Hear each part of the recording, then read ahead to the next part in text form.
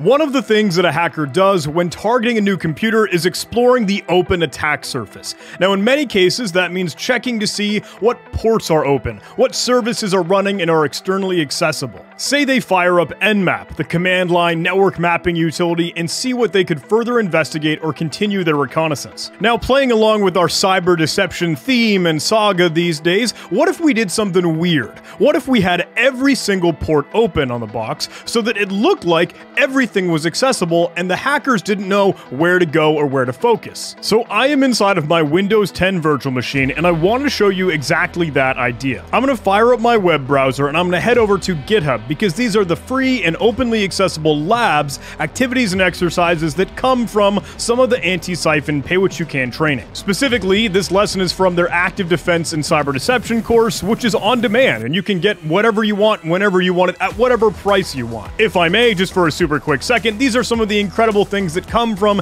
Antisyphon training and Black Hills Information Security and all of the incredible folks behind a lot of John Strand's tribe of companies. And you can actually check it out on antisyphontraining.com or the link below. They do have their pay what you can training where you can dive into all of these awesome and incredible courses, one of which being active defense and cyber deception. Their active defense and cyber deception course is crazy cool. It goes over so many incredible tricks and all to help you as defenders better your security posture by wasting the threat actor's time. You're having the hacker just get angry and upset because they can't figure out what to be doing in the environment, and you, as defender, have more time to be able to respond, react, remediate, and recover. Anyway, let's get back to port spoof because I think it is one awesome example of cyber deception and one really cool tool to have in your toolkit because it's exactly everything that we've been discussing. It's forcing every single port to be open all 65,535 open ports that will make an attacker's tooling like Nmap take forever. A huge amount of time, and they think, oh, they're going to have to manually interrogate all 65,535 ports. By the way, this virtual machine that I'm using is freely accessible from the Pay What You Can training, so I can fire up a terminal, and this has already been configured nice and easy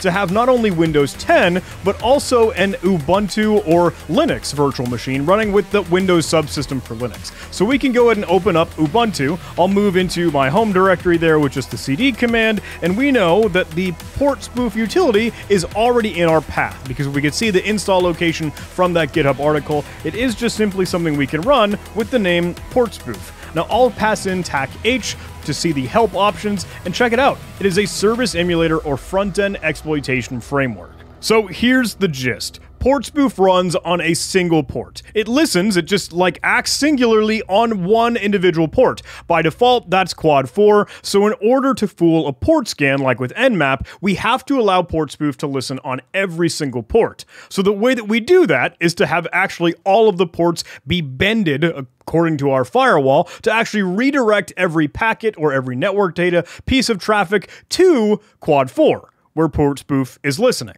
So the way that we can do that is just simply acting as the root user and then using iptables, the command line utility to manage our Linux firewall, to set up some pre-routing rules with TCP connections on any destination port, redirecting it to port quad 4. So let me get back to my terminal. I will sudo su and I can just enter ADHD as the password here as that is the user. And I will go ahead and paste in that iptables port option. And there we go. Now every single port should redirect to quad 4. In fact, let's kind of test that out. Let me see my current IP address. Because this is a virtual machine within the virtual machine that is ADHD in the Windows 10 box, we kind of have to work with this inside of the Windows virtual machine that we're already in. So it's weird, I know, hey, maybe we're running Nmap from Windows, but let's take a look at our Linux IP address, 172.26.36.254, and let's get back to our Windows PowerShell prompt where we we are able to run nmap from here. Now that I'm in Windows, I want to nmap on that port, and remember, every single port is being redirected to quad 4 right now. So naturally, it looks like everything is closed. Because there's nothing running on port 444 to begin with, now that the firewall is redirecting every single packet to that port, it looks like every port is closed, but we can now use port spoof to make it look like every single port is open. So let's get back to our Ubuntu machine. Let's get back to the Linux side, and let me just run port spoof. How about that? No parameters, switching to a simple open port mode. Ooh, okay. So let's get back to our Windows side yet again. Now I can run this very same command. I'll just hit the up arrow and I'll fire off Nmap on the Linux IP address. oh, that's so wild.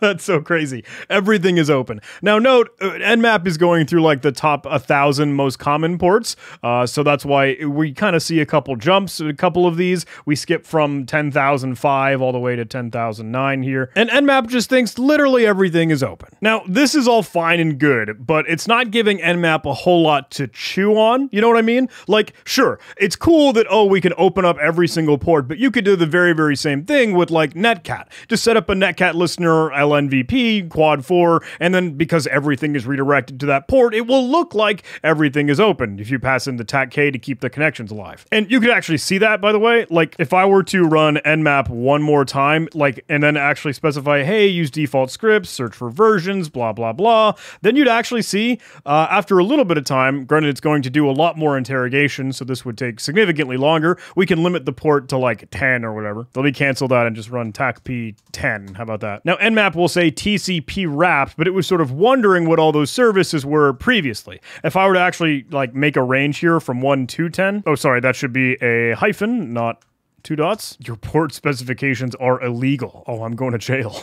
See, the thing is, every single one of these would look like TCP wrapped, and that is a little bit of a telltale sign, right? You can tell something is amiss if you see that as an option. So we can up the ante by actually telling PortSpoof to look like every single real service. If you give PortSpoof some of its own signatures, then it will look like it's hosting FTP or HTTP or DNS or Kerberos. Could be anything, right? And this is cool. Let me hop over over to the official PortSpoof repository from Dr. Kiwi, I think, and they actually showcase look, we are built with a ton of different signatures to actually be able to generate fake banners or make it look like anything you want. PortSpoof will respond to every service probe with a valid service signature that's dynamically generated based on a service signature regular expression database. As a result, the attacker won't be able to determine what port numbers your system is actually using. So the lab activity showcases this with TAC S, and we can go ahead and copy that. We'll have the path to the port spoof signatures just as well. And let's get back to our Ubuntu Linux side. Let's hit Control C to stop port spoof,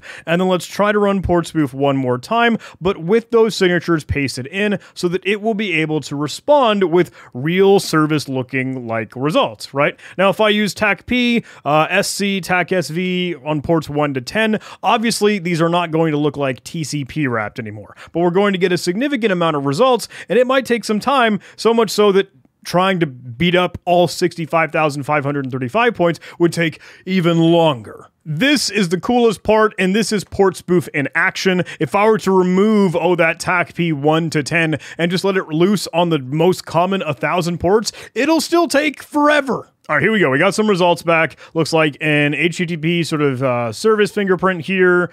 Oh, goodness gracious. Yeah, right on port 10, port 9, port 8, port 7. They've all got stuff here that's just overwhelming and it would probably freak out a actual threat actor. Like if you were playing Hack the Box or Try Hack Me and you got this every single port open as part of your little reconnaissance, man, I don't know how you'd react.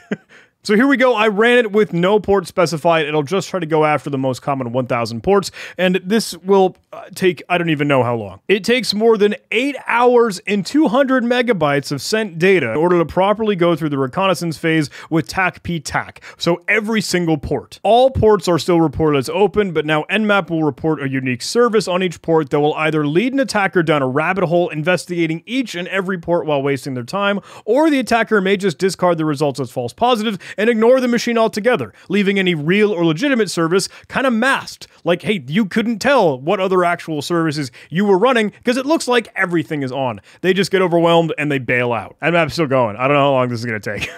But that is port spoof at its core, and I just think it's kind of neat. I think it's like, hey man, yeah, let's fake everything, smoke and mirrors, doesn't have any clue where everything is because it looks like everything is on and open and enabled, and the attacker just has to be a little bit paralyzed there. That is some cyber deception, and that is some of the sweet stuff you can learn with some of the Black Hills information security, Antisyphon training, all the great tribal companies that John Strand is up to, and their pay what you can training. If you're interested, link in the video description below, and I hope you enjoyed this one. I hope they thought that that was kind of fun, kind of cool, and maybe you have some great ideas for some service just like this, or you learned a new technique to funnel every single firewall port to one specific port.